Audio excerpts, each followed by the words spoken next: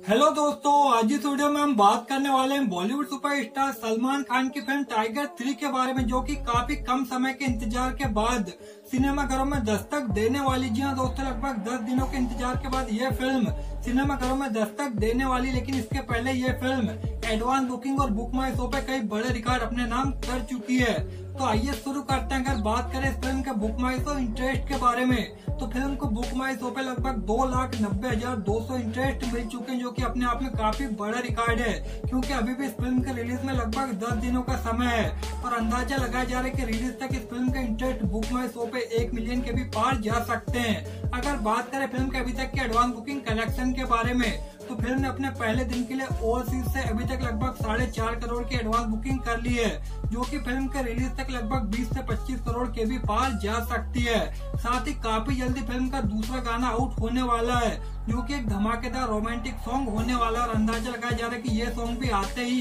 कई बड़े रिकॉर्ड तोड़ने वाले तो आप सभी सुपरस्टार सलमान खान की फ़िल्म टाइगर थ्री को देखने के लिए कितने एक्साइटेड हैं? आप सभी को क्या लगता है, ये फ़िल्म अपने पहले दिन कितने करोड़ की कमाई दुनिया भर से कर सकती है? हमें कमेंट करके ज़रूर बताइए और अगर अभी तक चैनल को सब्सक्राइब नहीं किया तो सब्सक्राइब ज़रूर करें।